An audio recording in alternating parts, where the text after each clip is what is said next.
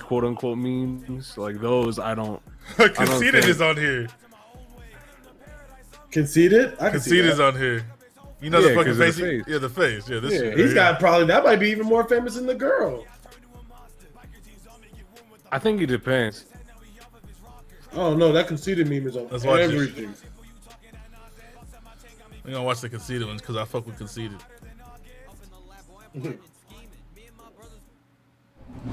Seated and was I remember this battle too. I remember the battle that that came from. Came a meme He murdered accident, that dude. And this is that story. See, and this story starts way back in December 2009. The average day in 2009 back then, I was uh, battling heavy, so I was just writing rhymes every day, keeping my sword sharp anytime I had I had to battle. That and going to the mall to shop. Back then, I was going to um, I was in I was in New York, so I was going to the rugby store a lot. When Ralph Lauren had the whole rugby line. So that was basically how my whole day to day was. Writing battle bars and going to get some rugby gear. What was driving me back then career wise was actually what, what I was doing. Was really just battle rapping. That was really all I wanted to do. I didn't want to be a studio rapper or musician, whatever. It was just to battle, be the biggest battler or one of the biggest battlers. The battle world is a it's a it's, it's weird because it's a very big but very small world. I mean, it's big. It has zillions of views online, but all the people are scattered all over the place. That's when battle rap was taking off, getting a little more mainstream. You know, as I would go to Times Square or go somewhere here, you know, I mean, we would get noticed. And that was a big deal for us. Yo, I was in Miami today. I was on South Beach and got noticed. I walked to the mall in St. Louis and got noticed. So, I mean, that was a big deal. So it was definitely happening. At the time, you know, I mean, I was a big battle rapper. So, you know, it was me and Hollow Da Don that's supposed to go out there to battle two St. Louis dudes. Eight works set, it up. There's some dudes out here that, that won the battle. This when Smack had their first event in St. St. Louis. My first time going, Smack's first time going. It was a dude named Jesse James. They would pay out of his own pocket so he can battle. I'm like, well, of course, that's the way it's gonna have to go. I was like, all right, I need this amount of money,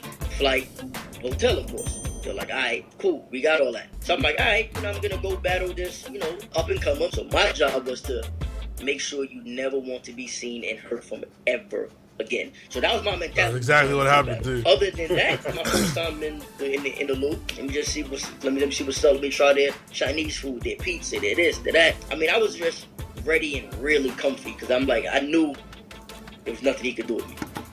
Welcome to the murder capital. But don't get too relaxed now, because we don't f with rappers this whack. So he was uh going against me. He's rapping, and then he um stumbled. But I don't need that He strap to drag yeah. you across the track. Second he touched that runway, they find his body floating in front of that.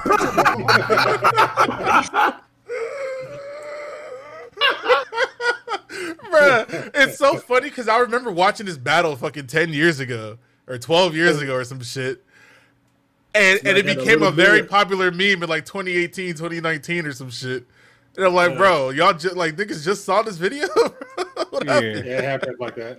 Rapping. But battle rappers just started to He, become um, a big stumbled. thing. But I don't need that strap to drag you across the track. Second he touched that runway. I don't need that strap to drag- uh, uh, uh, uh, Bro, look at Smack. Without even the zoom in. He is a nigga, bro. This is a real nigga. I don't uh, uh, um, uh. He um stumbled. But I don't need that strap to drag you across the track. Second he touched that runway, they find his body floating in front of that. Picture above a So when he stumbled, I just made a normal face. You know, just like, oh, basically trying like, oh, oh, hmm, all right, all right now, all right, you're about to kill yourself. And then when he got back on track, I'm like, all right, boom, he got it, he got it together again. Nowadays, the fans are a little more lenient. Back then, it was more like you stumbled, you, you finished. Yeah. Yeah. See, I forgot my damn line. Oh. Zach, you must be out your damn mind. He's little too, so it makes it worse. It's like, all right, boom, another, just another person to put in the backyard in the grave. That's it. You watch all my battles, even from when I battled in the jungle and grind time. I was, I was always making faces, and it was usually just my facial expressions for when I would say a line.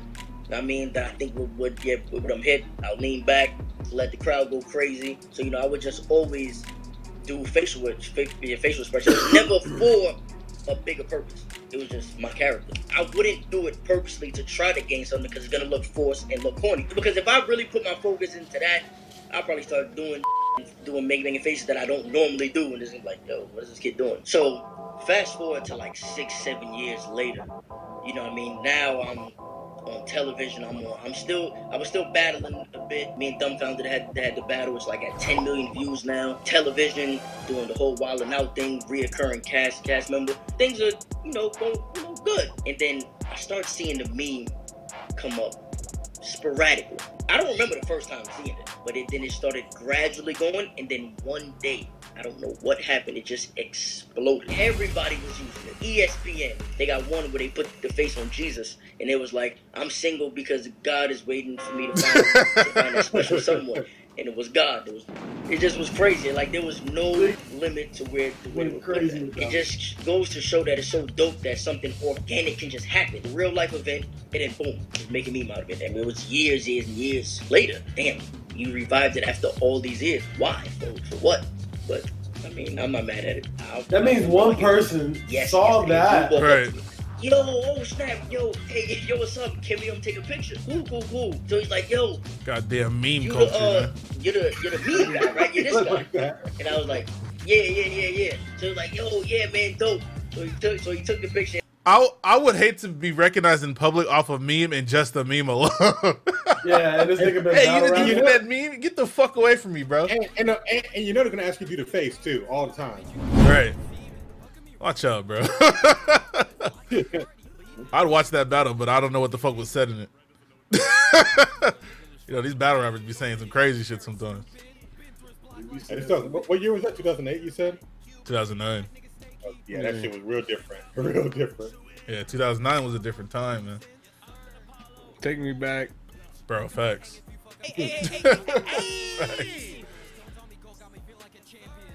Not to stay there, but just like to visit. Nah, take me back. I don't know, man. They- Bro, I'm, I'm not. I'm not trying to. Take me back so stay in I, I'll make some different moves, man. Bro, of course. You feel me? Oh man. Oh my god. If I had my art skills back then.